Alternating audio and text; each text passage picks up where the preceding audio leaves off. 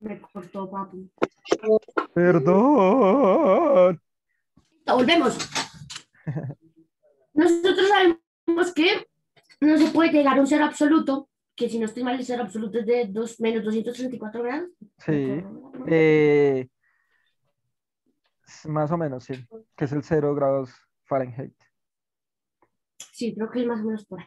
Sí. Listo. Y esta ley nos confirma que no se puede llegar a un cero absoluto. De hacer un ejemplo, ¿verdad, papi? Del termodinámica. ¿Me confirma?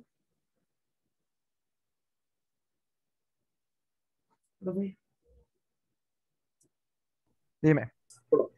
Teníamos que hacer un ejemplo, ¿no? Sí, una explicación. Bueno, acá se la tengo, papurri. Bueno, eh, tenemos un ejemplo que es una PC. Que mm, eh, la PC tiene un eh, vidrio, por así decirlo, eh, que se observa en esta parte. Y ese vidrio lo que nos ayuda es que por ese lado no salga el calor, porque aunque no lo crean, una PC tiene muchísimo calor interno debido a que pues un procesador o una gráfica llegarían a, un- a más o menos unos, unos máximos de unos 70 grados Celsius. Y es bastante. Entonces, eh, lo que sirve para liberar toda esa energía en forma de calor es esto. Estos son los ventiladores que tiene. Eh, pues en este caso tenemos uno atrás, uno eh, tres adelante y dos en la parte de arriba. Esto nos ayuda a que eh, nuestra PC eh, tenga mejores temperaturas para que no se caliente y no se dañen los componentes, porque los componentes, eh, la mayoría, o pues por lo menos las gráficas, eh, tienen eh, silicio y eso también hace que se calienten más. Bueno, lo que pasa, lo que hace esto es que todo el calor que está fluyendo en toda la PC, lo que hacen le- ventiladores es liberarlo para sacarlo. Porque, ¿qué pasa si nosotros dejamos ese calor ahí? Hasta se dañan los componentes o hasta la PC puede llegar a explotar. ¿Qué ha pasado? Y gracias a esto podemos decir que, eh, pues, que el calor obviamente está siempre presente, pero gracias a estos ventiladores que liberan la energía en forma de calor, eh, pues hay menores temperaturas. Y terminamos. Oh, muy bien, listo. Es muy importante lo que dice Juanjo. Eh, al final, por ejemplo, cuando se aumenta la entropía y el sistema no puede, eh, digamos que contener esta entropía, el sistema colapsa.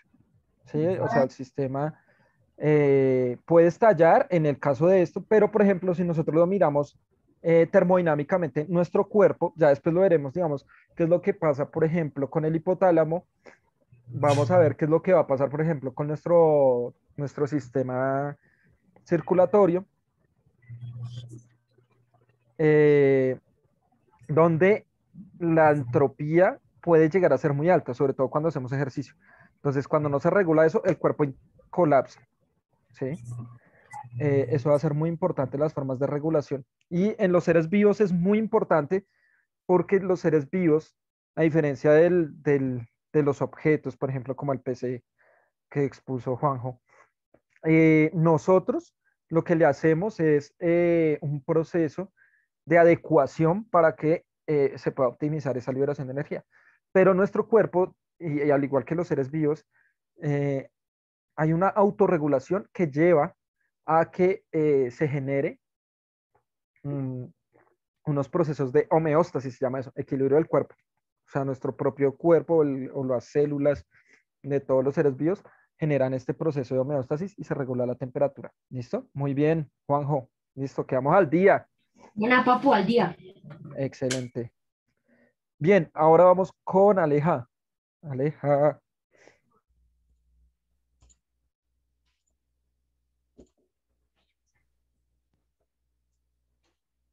Eh, bueno, eh, órganos y células y los tejidos. Si tengo prendido esto, sí. Eh, las diferencias entre la célula eucariota y procariota. Bueno, eh, la primera diferencia es que la célula eucariota tiene un organelo que se llama el núcleo y este es como una bodega para nuestro ADN. Al contrario de la célula procariota, este no tiene un núcleo definido, pero el ADN está repartido por todo el citoplasma y por toda la célula. La otra diferencia es que la célula procariota suele ser unicelular mientras que las células cariotas son multicelulares. Em, la tercera diferencia es que la célula eh, procariota tiene un solo cromosoma y las células eucariotas presentan múltiples cromosomas compuestos por ADN y proteína.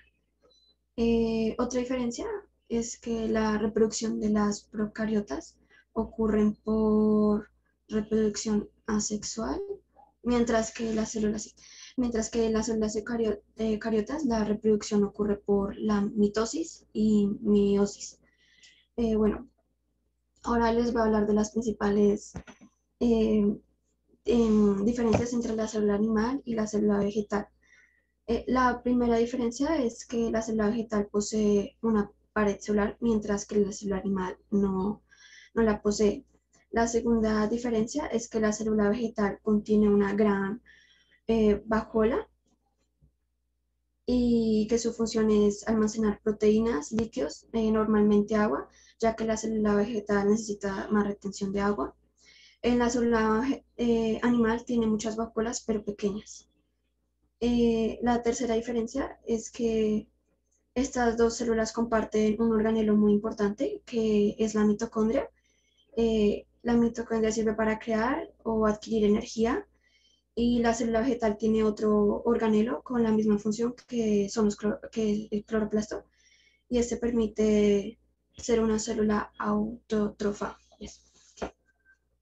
Em, ¿Qué otra diferencia? Bueno, eh, ahora les voy a hablar de la mitocondria y el cloroplasto. Eh, la, mitocondria tiene un proceso catabólico que es la degradación de la glucosa, y en el cloroplasto es otro proceso catabólico con, gracias a la fotosíntesis. Em, ahora pasamos a los tejidos del cuerpo. Eh, el tejido cartilaginoso nos da movilidad en las extremidades y esta nos permite movernos bastante. El tejido nervioso es un conjunto de células que se llaman neuronas, que dan, reciben eh, la información eh, del cuerpo, por ejemplo, movimientos involuntarios y voluntarios. Eh, el tejido óseo nos da una estructura al cuerpo para que no seamos como una gelatina. la sangre es un tipo de transporte para los compuestos o proteínas eh, que las lleva todo el cuerpo. El tejido epitelial eh, sirve para la protección fuera y dentro del organismo y también expulsa toxinas. El tejido muscular también nos da movilidad. digamos, cuando nosotros estamos estirando, lo que hace es agrandar el músculo. Eh, el tejido adiposo, pues nos da también movilidad y también es como una bodega de energía. Y, y ya, por favor. Gracias.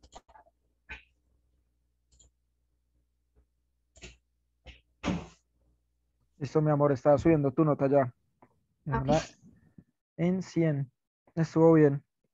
Hemos aprendido a exponer muy bien. Listo. Kevincho, ¿estás ahí, amigo mío? Me llamo profe. ¿Estás ahí? Sí, sí. eh, Kevincho, hágale, pero no, no prometo nada. No, pero, Y yo hablo con Xiomara ahorita, ¿listo? Listo, profe. Te, puede colaborar aquí compartiendo, es que no puedo compartir. Ah, pero entonces espérate, abro la norma, clic. ¿Kevin? Norma, Norma. Papu, una pregunta. Papu. Me acabo de meter a la plataforma y la nota de la exposición que acabo de presentar, o sea, la de las células, los organismos y todo eso, es la que dice que interpreta los modelos de equilibrio existentes entre los unos de los sistemas, el excretor, el inmune, entonces, ¿sí? Esa es la esta evidencia. La primera evidencia, sí. Listo. La primera evidencia te queda en, 82. en 82, sí. Listo, papi. Gracias. Pero esa ahí, o sea, dale detalles y ahí te sale qué sacaste en cada una de las notas, ¿listo? Ahí Sí, te profe. sale detalles, Ya me fijé. Listo, que son gracias. cuatro notas. Listo. Gracias.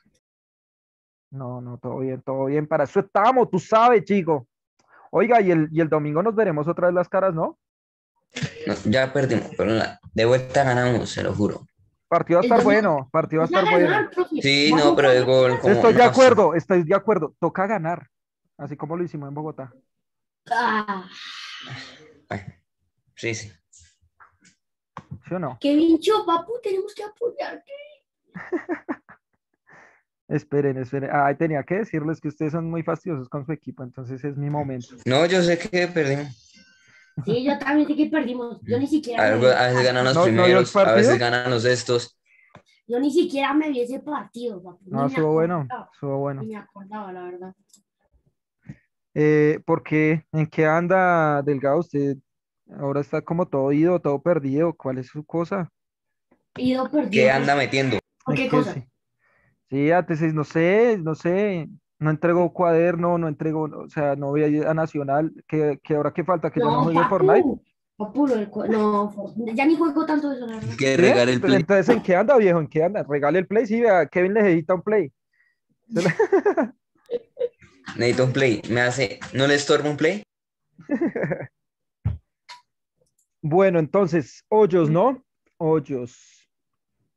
Hoyos Fuentes. Entonces está acá el archivo en PDF. Ta, ta, ta, ta, ta, ta, ta, ta. Ah, es un link. Profe, yo no me había dado cuenta de algo. Dime. Nacional goleó Patriotas 7-1. Oh, que goleaban en la última fecha, sí, sí, sí. Yo no me había, hasta ahora me vengo a dar cuenta. Pero... Sí, sí, sí, una goleada monumental. Y hoy juega con Nacional, ¿no? Eh, sí, Nacional contra Nacional. Ese es un partido bueno. ¿Sabes qué es lo que pasa? Que Equidad y, y Nacional, los dos están jugando torneos internacionales, entonces ya venían de un, de, de un desgaste. Hay, hay los que los tienen más fácil son el Cali, que perdió, y, y Millonarios, que no juegan torneos Sí. internacionales. Desde el resto, los otros seis, sí estamos jugando internacional. Ah, esos millonarios son unos. Sí, Millonarios anda todo loco porque le ganó a la América. Millonarios sigue así, gana esto. ¿Qué? Pero es que yo no. Yo, yo sí que jugaban América y Millonarios, pero no sé cuánto quedan. 2-1, Eh, pero creo que está 2-1, jugando sí, muy 2-1. bien. Está ¿Quién jugando muy ganó? bien. Millonarios. ¿Ganó Millonarios? Ellos. Ah, Solo, solo, solo hay que revirar a los equipos de Bogotá, solo Bogotá, muchachos. Equipos Bogotá. No, pero si siguen así, los manes han mejorado mucho. Pueden ganar. Ahorita van de primeros en la reclasificación, ¿no? En puntos, pasaron a Nacional. No, papu, qué asco. A ver Bueno. si les da como para una libertad. Imagínense esa final, Millonarios Nacional. Pero bueno, lástima que. Nacional no va a pasar. Bueno, eh... ¿qué dicho? Dale. Eh, listo. Entonces empezamos. Eh, las células. Voy a explicar rápido qué son las células. Eh, las células, pues, es fundamental para cualquier ser vivo, ya que es la que se encarga, pues, de crear ser vivo y a sus tejidos. Ah, No, profe, pasa. espere que se volvió loco, espere que se volvió loco ya. ¿O hay otra otra? Empezamos desde el Ah, principio. ya, ya. Bueno, eso nunca pasó. Buenas. eh, las células son fundamentales ya que pues, hacen al ser vivo, ya que es la encargada de hacer los tejidos y también es la, la encargada del crecimiento, la reproducción y la nutrición del ser vivo.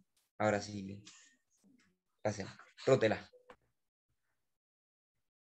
Eh, bueno, voy a hablar de tres características que también, o sea, además de ser características, diferencian de la célula eh, procariota a la eucariota. El cromosoma.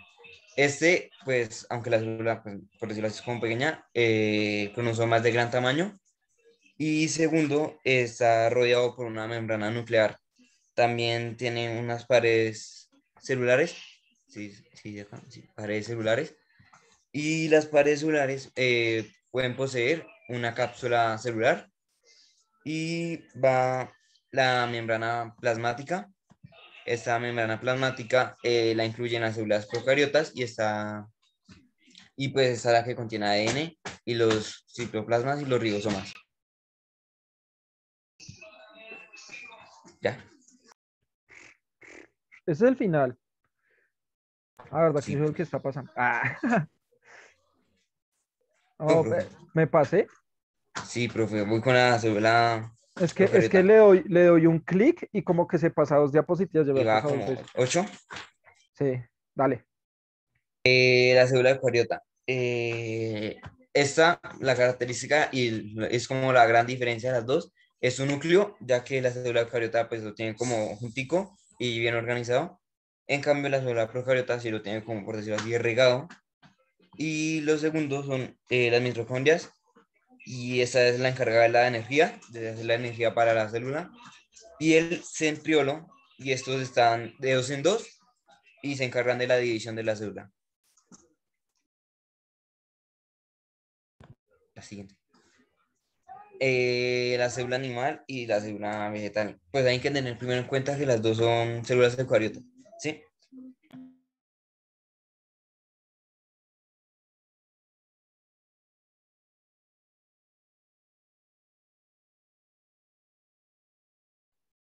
Hola, Kevin.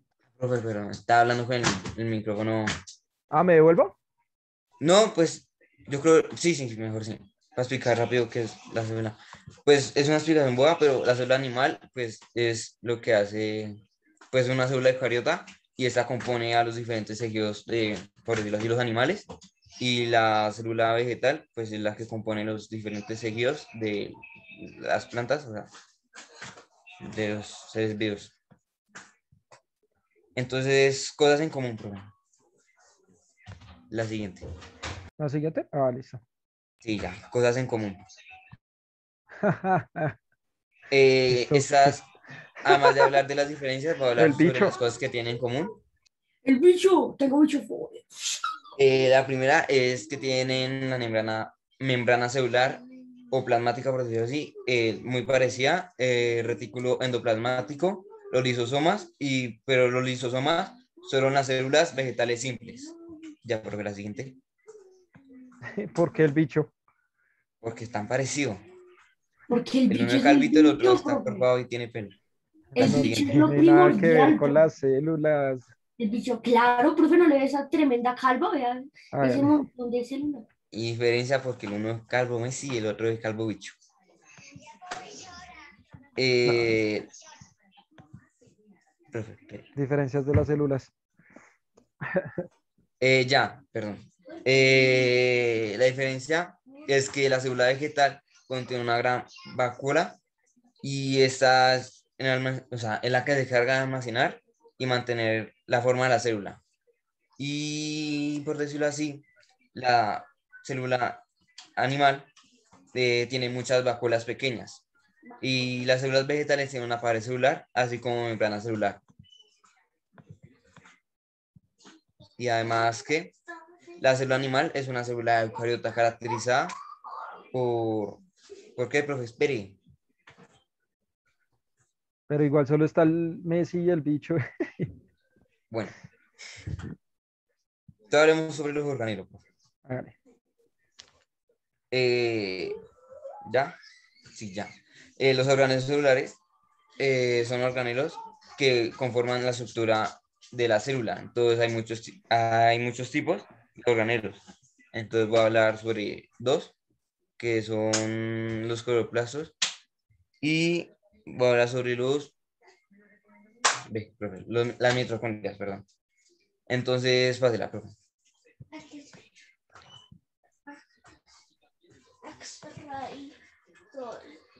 Ya, listo. El cloroplasto. Eh, la- una de las funciones esenciales del cloroplasto es el ve, metabolismo de las plantas.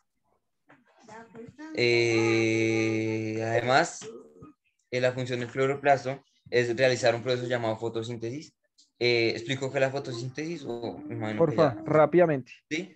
Eh, la fotosíntesis es el proceso metabólico, por decirlo así, eh, por donde las plantas convierten sustancias inar...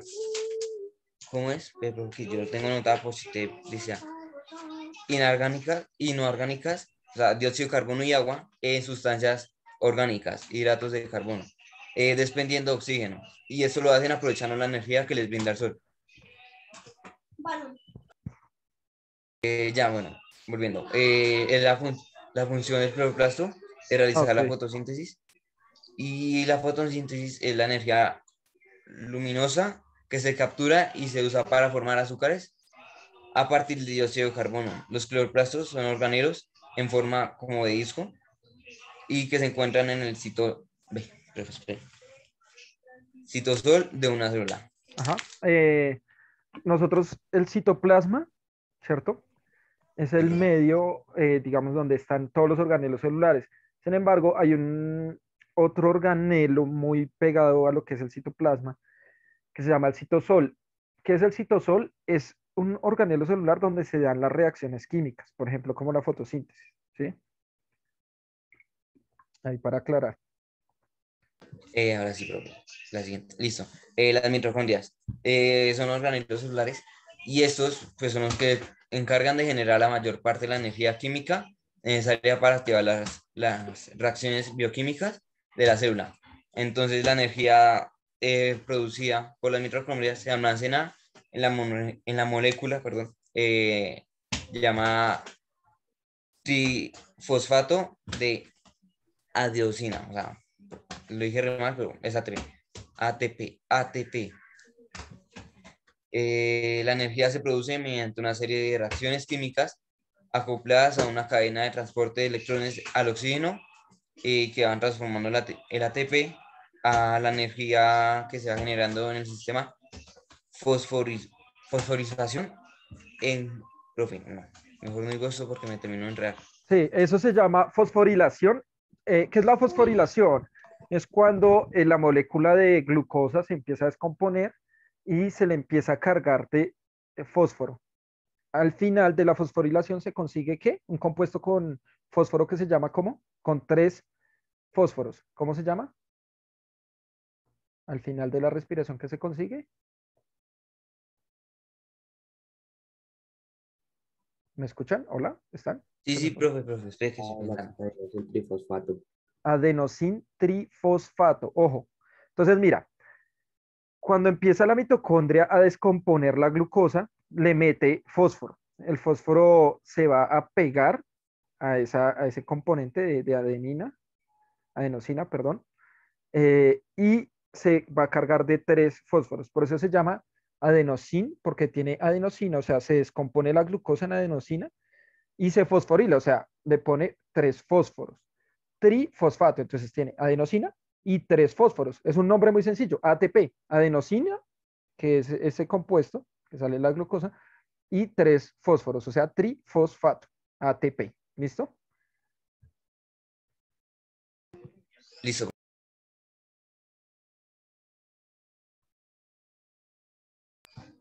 Eh, ya, profe, vamos con, creo que siguen los seguidos, si no me equivoco.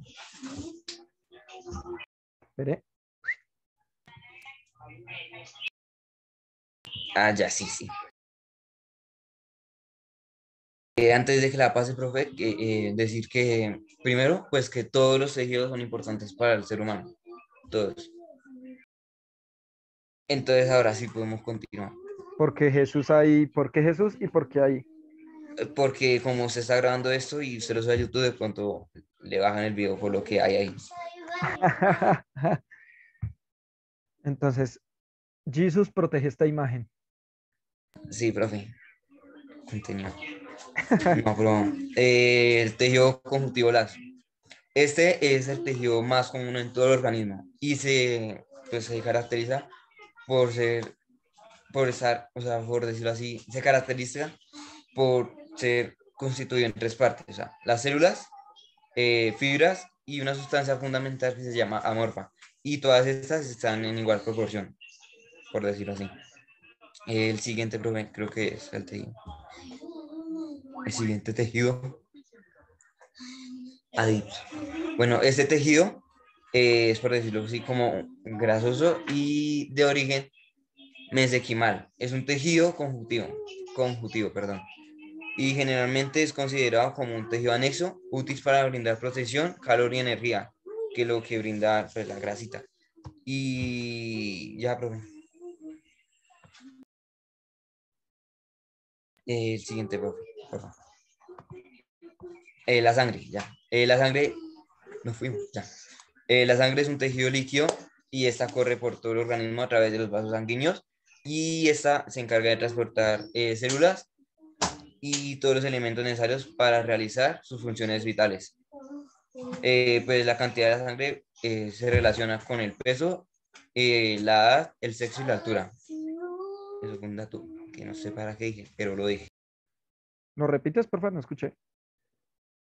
la, la cantidad de la sangre eh, se relaciona con la edad, el peso, el sexo y la altura de la persona. Ah, no, pues no sé por qué dije eso. Eso es un dato muy importante, por ejemplo, porque eh, la alimentación, dependiendo la edad, dependiendo el tamaño y todo eso, eh, va a interferir en los niveles de sangre que se produzcan. La sangre no es solo glóbulos rojos y glóbulos blancos y plaquetas, ¿no? Mm, sino que la sangre es un tejido mucho más complejo es un tejido conectivo. Eh, bueno, más adelante lo veremos a profundidad, pero es un tejido que va a tener un montón de sustancias, nutrientes, glucosa, eh, grasas, eh, minerales también, o sea, sales, agua. es muy complejo y por eso, digamos, es, hay que cuidarlo mucho. Sugieren, obviamente ustedes no pueden, por ser menores de edad, pero sugieren que uno debería por lo menos dos veces, eh, una vez, perdón, cada dos años por lo menos donar sangre. Donar sangre, eh, además de que ayuda a otra persona, sirve para, eh, digamos que para que nuestras células se renueven. El cuerpo se ve obligado a crear más células, entonces trabajan mucho más efectivas esas células. Entonces, se supone que nosotros en el cuerpo, la mayoría de personas, en promedio, tenemos 5 litros de sangre. Entonces, realmente es una... Ah, no sé si han comprado la bolsa de 5 litros de, agua cuando van a tierra caliente, no sé. No, profe, de pronto sí comprar agua. Pues para que se fijen. Cuando, cuando compren la bolsa de 5 litros en agua, es, quiere decir que eso es lo que les puede caber en sangre en esa bolsa para que vean más o menos cuál es la cantidad de sangre que podemos tener en nuestro cuerpo. ¿Listo? Yo pensé que era más sangre, pero... Sí, sí, uno piensa... Es que, la sangre es escandalosa, se corta un pedacito y salen 8 litros, en verdad son Claro, y es escandalosa, digamos, por ejemplo, además que es muy llamativa por el color, es escandalosa más que todo por el color. Digamos, por ejemplo, tú puedes ver un chorro de, de agua de la misma cantidad que te puede salir de sangre. Eh, pero tú no te escandalizas porque el agua es eh, incolora, ¿no? Pero la sangre no, la sangre... No me escandalizo porque es agua, por la verdad. Sí, claro, uno dice, oh, se está regando el agua, pero digamos, si a ti se te saliera, eh, yo sé que cuando nos da gripa, por ejemplo, y nos da, tenemos mocos, ¿sí o no? A nosotros nos sale una gran cantidad de mocos, pero no nos escandalizamos, por ejemplo. O sea, porque ¿Qué? No, eso es una arcilla. ¿Sí o no? Pero tiene que ver con eso. o dormir ahí. bueno, también porque se relaciona eh, un poco con, se relaciona un poco con la forma en la que eh, conseguimos la sangre, o sea, como ese fluido vital necesario para vivir y eso, obviamente lo es, pero eh, hay otras sustancias en el cuerpo que lo son y no las tomamos con tanto interés. Bueno, sigue, sigue. ¿La siguiente? Ok. Eh, sí, profe, la siguiente, por favor. El tejido conectivo denso. Eh, este tejido forma pues estructuras de gran capacidad de tensión y estas son como los tendones y los ligamentos. El siguiente, profe.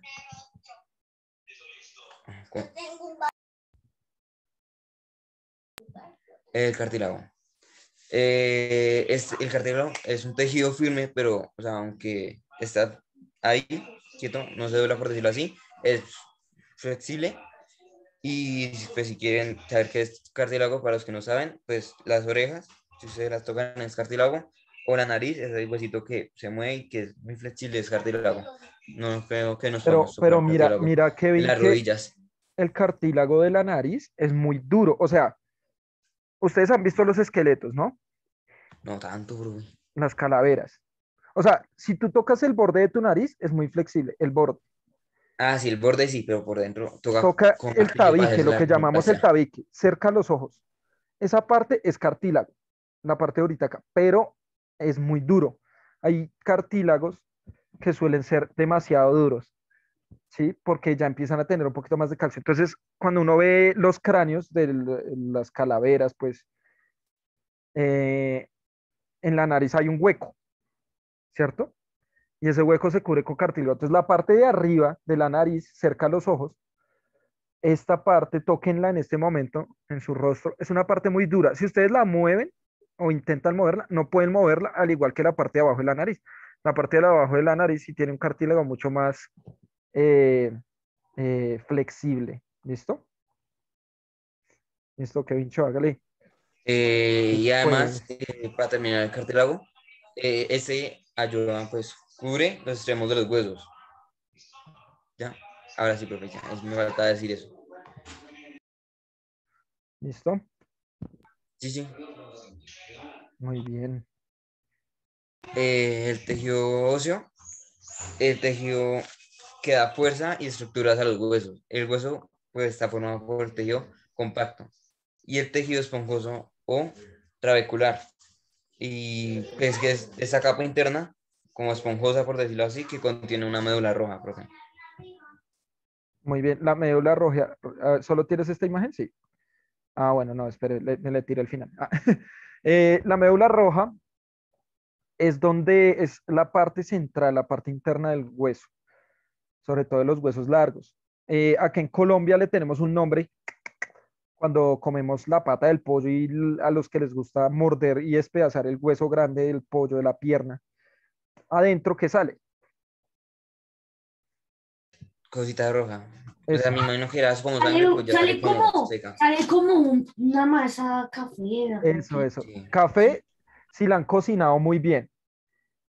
Medio rojita. está Rojita, muy bien. si no está muy cocinada. Y muy roja, si, si Sí, está, está crudo. crudo. Ah, bueno, entonces le voy a agradecer a Frisbee por no matarme. Ok. Frisbee. No, pero digamos, eh, si está muy roja, pues tampoco pasa nada. ¿Por qué está muy roja? Porque Porque-. ¿Por qué no la Sí, pero ojo con lo que les voy a decir para que lo anoten ahí grande y todo eso. Porque eh, ahí es donde nacen las células sanguíneas. Ahí nacen sus glóbulos rojos, sus glóbulos blancos y las plaquetas. Ahí están naciendo en ese hueso. Ah, profe, profe. Dime. eh, cuando a una persona, ¿cómo se llama? El cáncer de la sangre. eh, leucemia, ¿sí? Leucemia. Ah, Leucemia. ya. O sea, ¿qué es la leucemia? Es un cáncer que realmente se da en el hueso. Sí, por eso ya caí en cuenta con lo que usted dijo, Exactamente. Por eso, por eso cuando ustedes escuchan de pronto de algunos casos de leucemia y esto dicen, no, es que están esperando un trasplante de médula ósea. ¿Qué quiere decir eso? O sea, que les van a cambiar todo ese, eh, acá en Colombia, no sé ahorita si ustedes les digan así, pero en mi época le decíamos así, le decíamos el tuétano, a esa cosa que estaba dentro del hueso. Así le decían. Entonces, esa cosa esponjosa como café que ustedes ven, eso es el hueso esponjoso. Y es muy importante para crear las células sanguíneas. Ahí se están creando nuestras células sanguíneas. Entonces, miren algo importante, muchachos, y es que cuando una persona sufre de leucemia y le hacen un trasplante de médula ósea, le sacan todo eso, todo eso cafecito, se lo sacan y le meten el de otra persona. Eso se llama un trasplante de médula ósea. Es un procedimiento muy complicado porque eh, lo más complicado de ese proceso es que el cuerpo rechace ese tejido. Si el cuerpo rechaza ese tejido a la persona que está enferma de leucemia, ¿qué puede pasar? Se nos va para donde Nos Dios. va para el otro lado con Diomedes. Se va para donde Diomedes, se va para, bueno, esperemos que, no sé, es que Diomedes era muy loquillo, estará en el cielo o en el infierno, no sé. Está en la Guajira. Está- Esa es una buena respuesta. Eh, eh, pero ¿qué pasa? Si se muere, ¿pero por qué? Porque el cuerpo no rechazó. Sí, pero ¿por qué? ¿Se queda sin qué? Sin sangre, ¿no? O sea, Se pues Es decir, si se queda sangre. sin sangre, exactamente, se queda sin producción. O sea, Sin fe, obviamente se va a tener, se queda sin fe. Eh, para los que están perdidos, dice fe por el hierro. ¿no? Pero, Solo aclaro. claro, claro, claro. Uy, Kevin, ya sé dónde lo sacaste, Kevin. Entonces, eh, miren que si se queda sin producción de células sanguíneas, se queda, primero, sin células de defensa. Puede, lo puede atacar cualquier virus, bacteria o lo que sea. Eh, segundo, se queda sin glóbulos rojos, es decir, sin glucosa y sin oxígeno. Por tanto, las células del resto del cuerpo no van a poder respirar. ¿Listo? Se queda sin plaquetas. Por tanto, si tiene alguna herida o alguna cosa, no se va a poder regenerar. Entonces, miren lo importante que es este tejido óseo. Es un tejido muy, muy, muy, muy importante. ¿Sí? Bien. Eh, listo, ahora sí. ¿A qué se nos iría para el barrio de los acostados? Profe, una pregunta. Dime. Cuando, digamos, nos raspamos y nos sale la, la carcha, por decirlo así, que no sé cómo se llama. ¿Qué La costra. imagino que es la costra. Bueno, Sí, eh, eso es sangre que salió y pues se quedó ahí pegada como para hacer como una capa. claro. Mira ¿Y que, es malo bueno, quitárnosla? no, Profe, eso lo vimos en el anime que tú nos mostraste. Exacto, sí. Eso iba a decir. Bueno, digamos que en ese anime aparece, pero lo importante es entender por qué se forma la costra. Eh, se forma gracias a este fragmento, digamos, las plaquetas no son células como tal, sino son parte del citoplasma de otras células que se llaman los megamastocitos, creo que se llaman, sí. Mega, mera, ay, no me acuerdo el nombre completo, sí. Estas células liberan su citoplasma y forman las plaquetas. Las plaquetas son parte de, de célula, de una célula. Entonces, ellas tienen algo que se llama la fibrina, fibrina, así se llama. Entonces, lo que hacen es con el calcio, pegan células, ¿cierto? Pegan las células eh, sanguíneas, glóbulos blancos y glóbulos rojos, para que las células que estén ahí regenerándose cuando nos raspamos tengan glucosa y oxígeno a disposición. Por eso se forma la costra llega un punto donde puede que si nos, nos quitamos la costra, esa costra se puede caer sola, si ya se ha regenerado la piel, y punchado los glóbulos rojos y, y se muere. O puede pasar que se reabsorba todo eso y se regenere la, la costra. Si nosotros no la quitamos, lo que estamos haciendo, digamos, no es bueno. Eh, ahora, no se sientan mal. Todos, y ojo con eso, todos lo hacemos, digamos, sobre todo las personas que somos ansiosas. Yo soy re ansioso y cuando me salen costras, yo soy como... Uy, la quito. profe. Uy, eso es lo peor. ¿cierto? Pues depende de la costra, con- o sea, depende. recién molida. O sea, si me llega hasta la parte interna del hueso, pues obviamente no me la va a quitar, porque pues no. Pero es una mala decisión. ¿En qué sentido? Porque esa costra lo que nos va a generar es eh, una regeneración mucho más rápida del tejido. Si yo la quito, el cuerpo tiene que trabajar el triple y va a gastar mucha más energía. Y a largo plazo se puede ver el desgaste del cuerpo. Bueno, muchachos, dejémosla hasta acá. Gracias, Kevin. Gracias, muchachos que expusieron hoy. No alcanzamos a abordar. Nos vemos la próxima, ya con tejidos de One. Va, empezamos con tejido nervioso. Ahí subí el video del NormaClick para que lo vean. ¿Listo, muchachos? Chao, chao, papurri. Chao, papos. Buena Chao, clase, chao. muchachos. Son los mejores. Todo papu. bien. En las buenas.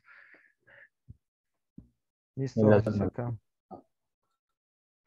Eh, Juli, eh, la otra, pero necesito que hables con, con Chom- Ah, no, mentira, sí, la otra, la otra, Juliana, la otra. ¿De una? Bueno, profe, dale. ¿Y los apuntes qué puedo hacer para entregártelos? Eh, no, yo creo,